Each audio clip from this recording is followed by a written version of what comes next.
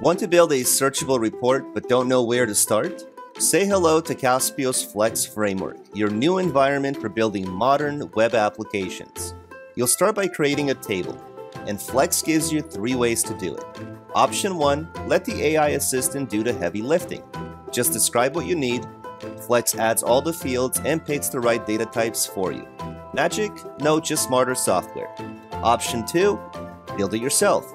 Add your fields, assign data types, and name everything exactly how you want it. Option 3 Already got a spreadsheet? Import it. Flex converts it into a structured table without you spending another afternoon in Excel's gray zone. Now that your table's ready, it's time to build a report. Make it public or password protected with user roles. Step 1 Add a search form. Pick your table, add your filters, make modifications, and click Save. That's it.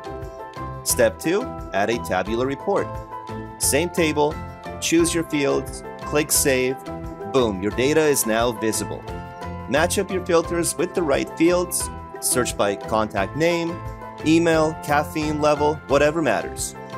Deploy your app page, share the link, and just like that, you've built a full searchable report application.